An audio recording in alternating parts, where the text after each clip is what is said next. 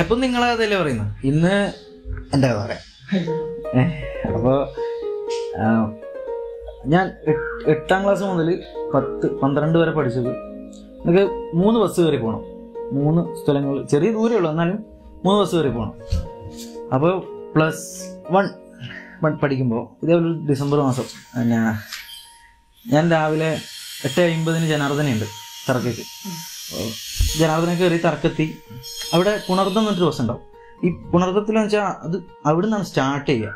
അതുകൊണ്ട് അത് അവിടെ തന്നെ നിർത്തിയിട്ടുണ്ടാവും തറക്കന്നെ അപ്പം ഞാൻ അതിൽ കയറി എന്നിട്ട് പുണർത്തത്തിൽ കയറി പണ്ടേയുള്ള ചെറുപ്പം മുതലുള്ള ശീലമാണ് ഈ ഫ്രണ്ടിലെ ഡോറിന്റെ സീറ്റ് പോയിരിക്കുക എന്ന് പറയുന്നത്. യെസ് അതിന്റെ ഒരു സർവീസ് അതുകൊണ്ടല്ല സത്യം പറഞ്ഞാൽ ഈ കിളീനോടുള്ള ഒരു ഇതുകൊണ്ടാണ് അങ്ങനെ അവിടെ പോയിരിക്കുന്നത് അപ്പോൾ ഡോർ തുറന്നു കൊടുക്കുക. അപ്പോൾ അവിടെ പോയിരിക്കും അവിടെ പോയി ഇരുന്ന് അപ്പോൾ അന്ന് അങ്ങനെ ഇരുന്ന് ബസ്സിലധികം ആൾക്കാരില്ല. ബസ് സ്റ്റോപ്പിലധികം ആൾക്കാരില്ല. ഞാൻ ഇരുന്ന് ഇങ്ങനെ ഇരുന്ന് താഴേക്ക് അതായത് ബസ് സ്റ്റോപ്പിലോട്ട് ഇങ്ങനെ നോക്കുമ്പോൾ ഒരു പുള്ളിക്കാരി മാത്രം ഇങ്ങനെ നിൽക്കുന്നുണ്ട്. അപ്പോൾ ആ ഇരുന്നൊരു നോട്ടത്തിൽ ഞാൻ കുറച്ച് നേരം നോക്കിപ്പോയി. പുള്ളിക്കാരി എന്നെയും നോക്കിപ്പോയി. ഏഹ് ആ കുറച്ച് നേരം ഒരു മൂന്ന് സെക്കൻഡ് ഉണ്ടാവും. അത്രയേ ഉള്ളൂ മൂന്നോ നാലോ സെക്കൻഡ് അപ്പോൾ രണ്ടാളും ഒരേ സമയത്ത് ഇങ്ങനെ നോക്കി. അത് നോട്ടം സത്യം പറഞ്ഞാൽ പുള്ളിക്കാരിയുടെ ഫേസ് എന്റെ ഉള്ളിലോട്ട് രജിസ്റ്റർ ആവുന്ന ഒരു മൊമെന്റ് അത്. അത് ഞാൻ മറക്കില്ല അത് എപ്പോഴും ഞാൻ മറക്കില്ല അങ്ങനെ പിന്നെ പിന്നെ എപ്പോഴും ഇങ്ങനെ കാണും. പുള്ളിക്കാരി വൈശാഖിന് അതായത് ഈ പുണർദ്ധം വിടുന്നതിന് മുന്നേ വൈശാഖ് വിടാണ്ട് ബസ് വരാനുണ്ട്. വൈശാഖ് ബസ് വരാനുണ്ട്. ഈ വൈശാഖിനോട് വേണ്ടി കാത്തിരിക്കുന്നത് അപ്പോൾ ഞാനും ബസ് സ്റ്റോപ്പിൽ നിൽക്കും. എന്നിട്ട് ഇങ്ങനെ സൈഡിലോട്ട് നോക്കും. എന്നിട്ട് വൈശാഖ് വരുമ്പോൾ അതിൽ കയറും ചില ദിവസം ഓടി അതായത് വൈശാഖാടെ സ്റ്റോപ്പിലുണ്ടാവും. നമ്മുടെ നാട്ടിൽ നിന്ന് വരുന്ന ദിവസം ഇങ്ങനെ അവിടെ നിർത്തുമ്പോൾ ഇറങ്ങി ആ പൈസ കിട്ടാനൊരു ഓട്ടോ ഉണ്ട്. അപ്പോൾ ചില ദിവസം ഇങ്ങനെ ഓടി ബസ്സിൽ ചാടി കയറി ഇങ്ങനെ ഇങ്ങനെ പിടിച്ച് സീറ്റ് ഉണ്ടാവില്ല അപ്പോൾ പിടിച്ച് നിൽക്കുമ്പോൾ ഉണ്ടാവും ഫ്രണ്ട് പെട്ടി സീറ്റിലിരിക്കുന്നു അപ്പോൾ അങ്ങനെ പിന്നെ എപ്പോഴും കാഴ്ചയിൽ ഈ പുള്ളിക്കാരിയായി ആ വർഷം മൊത്തം ഏഹ് പുള്ളിക്കാരി എന്റെ കാഴ്ചയിൽ ഇങ്ങനെയായി അങ്ങനെ ആ വർഷം കഴിഞ്ഞു. അടുത്ത വെക്കേഷനൊക്കെ കഴിഞ്ഞിട്ട് അടുത്ത വർഷമായി അപ്പോൾ ഞാൻ ഏതാണ്ട് പുള്ളിക്കാരെ മറന്നു. മറന്നു വെച്ചാൽ മൂന്ന് മാസത്തോളം നമ്മുടെ കാഴ്ചയിൽ ഇല്ലല്ലോ അപ്പോൾ അങ്ങനെ ഒരാളെ എന്തോ മറന്നു. കാരണം എപ്പോഴും കാണുന്നു എന്നല്ല നമുക്ക് പേരറിയില്ല ഞാൻ ആരാണെന്ന് അറിയില്ല. എപ്പോഴും കാണും കാണും അങ്ങനെ കണ്ട് കണ്ടൊരു ഏഹ് മൊത്തം കണ്ണിനെ കൊണ്ടുള്ള ഒരു ഇതാണല്ലോ. അപ്പോൾ അങ്ങനെ ഈ വെക്കേഷനൊക്കെ കഴിഞ്ഞ് സ്കൂൾ തുറന്നപ്പോൾ ഞാൻ പുള്ളിക്കാരെ മറന്നു.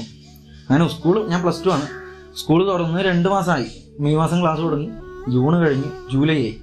അപ്പോൾ ജൂലൈ ആദ്യ ഒരു ദിവസം പഴയങ്ങാടി ബസ് സ്റ്റാൻഡിൽ ഇങ്ങനെ നിൽക്കുകയാണ് ചങ്ങായിമാരൊക്കെ ആയിട്ട് രാവിലെ സ്കൂളിൽ പോകാൻ വേണ്ടി നിൽക്കുകയാണ് അപ്പോൾ പെട്ടെന്നൊരു ചങ്ങായി എന്നോട് പറഞ്ഞു എടാ എടാ വരുന്നു വരുന്നു വരുന്നു വരുന്നു പറഞ്ഞു. ഞാൻ രാകേഷാണെന്ന് പറഞ്ഞു. അപ്പോൾ പിന്നെ ഞാൻ ആര് ആര് ഞാൻ ചോദിച്ചു. എനിക്ക് പെട്ടെന്ന് ആളെ മനസ്സിലായില്ല. അപ്പം അടുത്തെത്തി കഴിഞ്ഞിട്ടാണ് എനിക്ക് ആളെ മനസ്സിലായത്. അപ്പോൾ ഈ പുള്ളിക്കാരിയാണ് അപ്പോൾ പുള്ളിക്കാരി പിന്നെ സെക്കൻഡ് ഇൻട്രോ കാരണം കളർ ഡ്രസ്സാണ് യൂണിഫോം അല്ല.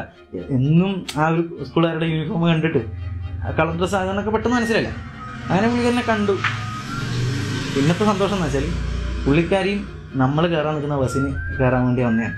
പുള്ളിക്കാരി ഞാൻ പഠിക്കുന്ന സ്കൂളിന്റെ അടുത്തുള്ള ഒരു കോളേജുണ്ട്. അപ്പോൾ ആ കോളേജിലാണ് പുള്ളിക്കാരിക്ക് അഡ്മിഷൻ കിട്ടിയത്. അപ്പോൾ പുള്ളിക്കാരി ഡിഗ്രി ഫസ്റ്റ് ഇയർ അവിടെ ചേരുന്നു. ഞാൻ ഞാൻ plus two plus two plus two പിന്നെ ഇങ്ങനെ എപ്പോഴും ബസ് സ്റ്റോപ്പിൽ നിന്ന് കാണുന്നു കാണുന്നു കാണുന്നു കാണുന്നു. അങ്ങനെ ആ ആ സമയത്ത് പുള്ളിക്കാരിയുടെ കോളേജിൽ ക്ലാസ്സിൽ നിന്നാണ് തോന്നുന്നു. ഒരു പുള്ളിയെ ഒരു ചങ്ങനൊക്കെ കണ്ടു. കണ്ട് അതിനെ പേരൊക്കെ ചോദിച്ചു. ഈ പുള്ളിക്കാരുടെ പേരൊക്കെ ചോദിച്ചു. പേരറിഞ്ഞു. അങ്ങനെ ഫേസ്ബുക്കിൽ കയറി റിക്വസ്റ്റ് അയച്ചു. എനിക്ക് അന്നേരം എന്റെ ഫേസ്ബുക്ക് അക്കൗണ്ടിന്റെ പേര് മാൻ ഹു നെവർ ഡേയ്സ് എന്നായിരുന്നു. എന്റെ സ്വന്തം പേരൊന്നുമല്ല അപ്പോൾ ഫേക്ക് അല്ല. എന്റെ ഫോട്ടോ ഒക്കെ ഉണ്ട്. മാൻ ഹു നെവർ ഡേയ്സ് എന്നൊരു പേര്. ആരോ പറഞ്ഞു തന്നെ ഒരു നല്ല രസം തോന്നി.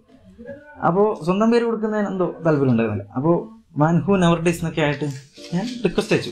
റിക്വസ്റ്റ് ഒക്കെ അയച്ച് പിന്നെ അക്സെപ്റ്റ് ചെയ്തില്ല. മാസങ്ങളായി. ഏഹ് അക്സെപ്റ്റ് ചെയ്തില്ല. ഒരു ഒരുപാട് മാസം കാരണം എന്റെ കണ്ണിൽ ഈ നിങ്ങളുണ്ട്. പിന്നെ പുള്ളിക്കാരി ഇങ്ങനെ എന്റെ കണ്ണിൽ എപ്പോഴും ഉണ്ട്. ഞാൻ വൈകുന്നേരം കാണും രാവിലെ കാണും. വൈകുന്നേരം കാണും ചിലപ്പോൾ ചില ദിവസം കാണില്ല അങ്ങനെ ദിവസങ്ങളിൽ ഇങ്ങനെ പോവാണ്. പുള്ളിക്കാരൻ എന്നെ കാണുന്നുണ്ട്. ഒരു ദിവസം ബസ് കയറി. റോഡ് നെറ്റ് പറഞ്ഞിട്ട് ബസ്സുണ്ട്. ഒരു ത്രൂ ബസ് ഉണ്ട് അത് അങ്ങനെയാണെങ്കിൽ അത് രണ്ട് ദിവസമേ വേണ്ടു ഇപ്പോൾ റോഡ് നെറ്റിൽ പിന്നെ പുള്ളിക്കാരി കയറി ഞാനും ബാഗ് കയറി അപ്പോൾ തൊട്ടടുത്ത സ്റ്റോപ്പിൽ നിന്ന് പിന്നെ നമ്മുടെ ഈ നമ്മുടെ ഒരു പെങ്ങൾ പെങ്ങളും മോളും അവർ കയറി അപ്പൊ അവരെ കണ്ടപ്പോൾ ഞാൻ ഫ്രണ്ടിലോട്ട് പോയി. ഏതാണ്ട് പുള്ളിക്കാരിയുടെ അപ്പുറം ഇപ്പുറമായിട്ടാണ് ചേച്ചി മോളും നിൽക്കുന്നത്. അപ്പൊ ഞാൻ നേരെ അവരെ കണ്ട മുന്നോട്ട് പോയി. എനക്കൊരു കാരണമില്ലേ മുന്നോട്ട് പോയി മുന്നോട്ട് പോയി പിന്നെ അപ്പോ ഈ ചേച്ചിന്റെ മോൾ. അമ്മേ വിഷ്ണുവാട്ടെന്ന് അയ്യോ. കാരണം എന്റെ പേരും അവിടെ കിട്ടി. തൊട്ടടുത്തല്ലേ നിൽക്കുന്നത്. അപ്പൊ ഞാൻ എന്നിട്ട് ചിരിച്ചൊക്കെ വർത്താനം തുടങ്ങി കാരണം ഇവരോട് ഞാൻ സംസാരിക്കുന്നെങ്കിലും തൊട്ടടുത്ത് നിൽക്കുന്ന ആളുടെ ആ ഒരു ഉള്ളതുകൊണ്ടാണ് എന്റെ ഉള്ളിൽ മൊത്തം. ഏഹ് അപ്പോൾ അത് കഴിഞ്ഞ് അതൊക്കെ അങ്ങനെ അങ്ങനത്തെ ഒരുപാട് മൊമെന്റുകളുണ്ട് ഏഹ് അതൊക്കെ കഴിഞ്ഞ് വർഷം അവസാനിക്കാനായി അതായത് പ്ലസ് ഞാൻ പ്ലസ് ടു കഴിഞ്ഞു. എക്സാം എക്സാമും കഴിഞ്ഞു. കഴിഞ്ഞു. ആ പ്ലസ് ടു കഴിഞ്ഞു. അങ്ങനെ ഏതാണ്ട് വിഷു ആവാറായി. അപ്പോൾ ആ സമയത്ത് ഞാൻ എന്റെ എഫ് ബി നെയിം അതായത് ഒന്നര വർഷമായിട്ട് എന്റെ കണ്ണിലും കാഴ്ചയിലും അവരുടെ കണ്ണിലും കാഴ്ചയിലൊക്കെ ഞാനും അവരൊക്കെ ആയിട്ട് ഇങ്ങനെ ഉണ്ട് അപ്പോൾ പിന്നെ ആ വിഷു വിഷുക്കാലം ഒന്നര വർഷം കഴിഞ്ഞ ശേഷം പ്ലസ് ടു കഴിഞ്ഞ സമയത്തുള്ള വിഷു ടൈം ഞാൻ പേര് മാറ്റി. സ്വന്തം പേരാക്കി. സ്വന്തം പേരാക്കിയിട്ട് പിന്നെ കുറച്ച് ദിവസമായപ്പോൾ ഒരു നോട്ടിഫിക്കേഷൻ അയ്യോ. അക്സെപ്റ്റ് ചെയ്തു. എന്ത് ചെയ്യാൻ അങ്ങനെ എന്നെക്കാളും മൂത്താണ്. അപ്പോൾ നമ്മളിങ്ങനെ ഒരു വായനോട്ടം പോലെ വായനോട്ടം എന്നല്ല ഒരു അങ്ങനെ ഒരു ഇതിലാണെങ്കിലും പുള്ളിക്കാരിക്ക് അങ്ങനെ ഏത് സെൻസാണെന്ന് നമുക്കറിയില്ലല്ലോ. അപ്പോൾ അക്സെപ്റ്റ് ചെയ്ത് ഞാൻ ഒരു ദിവസം കഴിഞ്ഞ് ഞാൻ ഗുഡ് മോർണിംഗ് ഒക്കെ അയച്ചു. റിപ്ലൈ ഒന്നുമില്ല. രണ്ടാമതൊരു ഗുഡ് മോർണിംഗ് ഒക്കെ അയച്ചു റിപ്ലൈ ഒന്നുമില്ല. അപ്പോൾ അവസാനം പെങ്ങളെന്ന് വിളിച്ചപ്പോൾ റിപ്ലൈ തന്നു. ആ പെങ്ങളെ വിളിച്ചു ഞാൻ വിളിച്ചു പെങ്ങളെ വിളിച്ചപ്പോ സിസ്റ്റർ അങ്ങനെ വിളിച്ചേ. അപ്പൊ ഏഹ് ആ അന്ന് ഞാൻ ഈ മൊബൈലില്ല ഫേസ്ബുക്ക് കമ്പ്യൂട്ടറിൽ നിന്നാണ് ലോഗിൻ ചെയ്യുന്നത് അപ്പൊ ഞാൻ ഈ ഇവരോട് ചാറ്റ് ചെയ്യുമ്പോൾ എന്റെ മുട്ടയ്ക്ക് ഇങ്ങനെ ഇങ്ങനെ വിറക്കും. ഏ? കാരണം എന്താ റിപ്ലൈ ഒന്നും അറിയില്ല.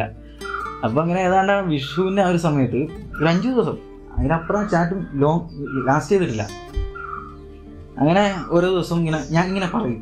ഞാനിങ്ങനെ പിന്നെ നിങ്ങൾ പഠിക്കലൊന്നുമില്ല അല്ലേ? എല്ലാം ബസ്സിൽ നിന്നല്ലേ നിങ്ങൾ ഹോംവർക്ക് അല്ലേ ഇന്ന് ഞാൻ കണ്ടിട്ടുണ്ട്. അതിന് പഠിച്ചിട്ടെല്ലാം പോയി കൂടെ. അങ്ങനെയൊക്കെ ഞാൻ ഞാൻ അങ്ങോട്ട് തള്ളും. എന്റെ കാഴ്ചയിൽ ഞാൻ കണ്ട കാര്യങ്ങളൊക്കെ ഇങ്ങനെ അങ്ങോട്ട് തള്ളും. കുളിച്ചിട്ടെല്ലാം വന്നൂടെ? ഡെയിലി മുടിയെല്ലാം മാറുന്നുണ്ടല്ലോ? അങ്ങനെയൊക്കെ പറയും. അപ്പോൾ അങ്ങനെയൊക്കെ ഞാൻ അങ്ങോട്ട് അങ്ങോട്ട് ഞാൻ അങ്ങനെ പറയും. ഇങ്ങോട്ട് എന്നെ എന്നെ കുറെ എന്നെ ആക്കിക്കൊണ്ട് ഇങ്ങോട്ട് കുറെ വർത്താനം പറയും.